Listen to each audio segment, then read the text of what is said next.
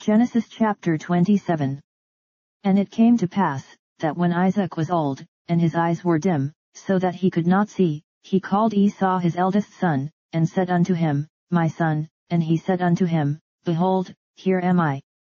And he said, Behold now, I am old, I know not the day of my death, now therefore take, I pray thee, thy weapons, thy quiver and thy bow, and go out to the field, and take me some venison, and make me savory meat, such as I love, and bring it to me, that I may eat, that my soul may bless thee before I die. And Rebekah heard when Isaac spake to Esau his son. And Esau went to the field to hunt for venison, and to bring it. And Rebekah spake unto Jacob her son, saying, Behold, I heard thy father speak unto Esau thy brother, saying, Bring me venison, and make me savory meat, that I may eat, and bless thee before the Lord before my death. Now therefore, my son, obey my voice according to that which I command thee. Go now to the flock, and fetch me from thence two good kids of the goats, and I will make them savory meat for thy father, such as he loveth, and thou shalt bring it to thy father, that he may eat, and that he may bless thee before his death. And Jacob said to Rebekah his mother, Behold, Esau my brother is a hairy man, and I am a smooth man, my father peradventure will feel me, and I shall seem to him as a deceiver, and I shall bring a curse upon me, and not a blessing. And his mother said unto him, Upon me be thy curse, my son, only obey my voice, and go fetch me them. And he went, and fetched, and brought them to his mother, and his mother made savory meat, such as his father loved.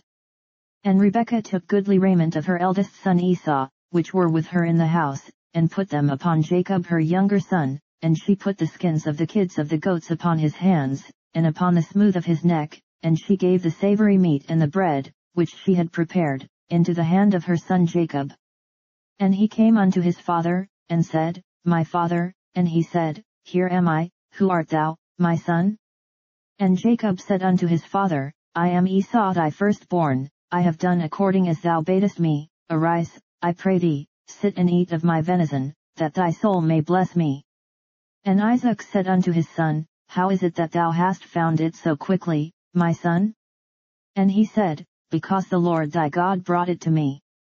And Isaac said unto Jacob, Come near, I pray thee, that I may feel thee, my son, whether thou be my very son Esau or not.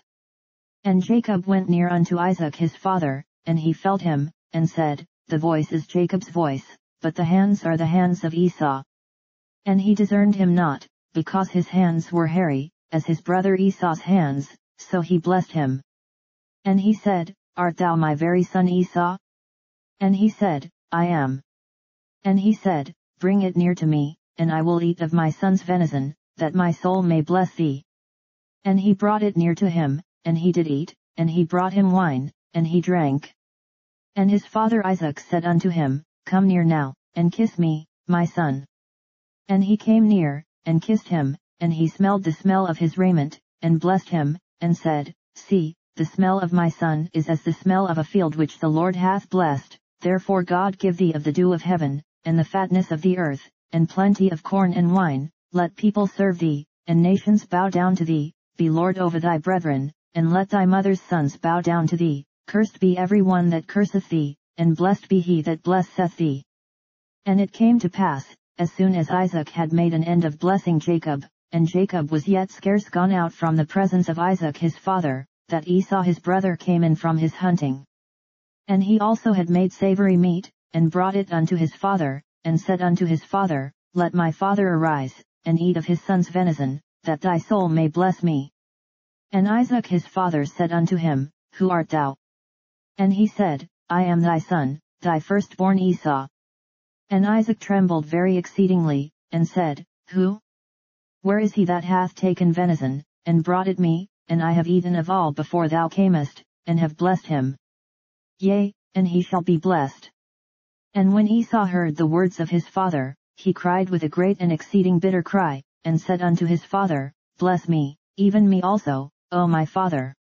And he said, Thy brother came with subtlety, and hath taken away thy blessing. And he said, Is not he rightly named Jacob? For he hath supplanted me these two times, he took away my birthright, and, behold, now he hath taken away my blessing.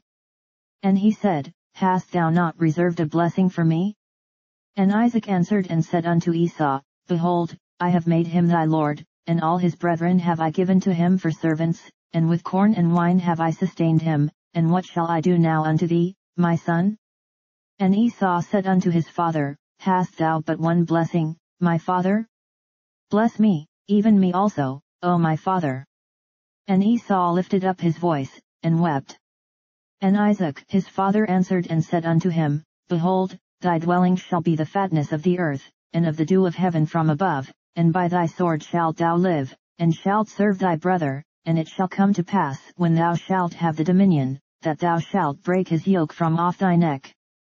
And Esau hated Jacob because of the blessing wherewith his father blessed him, and Esau said in his heart, The days of mourning for my father are at hand, then will I slay my brother Jacob. And these words of Esau her elder son were told to Rebekah, and she sent and called Jacob her younger son, and said unto him, Behold, thy brother Esau, as touching thee, doth comfort himself, purposing to kill thee. Now therefore, my son, obey my voice, and arise, flee thou to Laban my brother to Haran, and tarry with him a few days, until thy brother's fury turn away, until thy brother's anger turn away from thee, and he forget that which thou hast done to him, then I will send, and fetch thee from thence, why should I be deprived also of you both in one day? And Rebekah said to Isaac, I am weary of my life because of the daughters of Heth, if Jacob take a wife of the daughters of Heth, such as these which are of the daughters of the land, what good shall my life do me?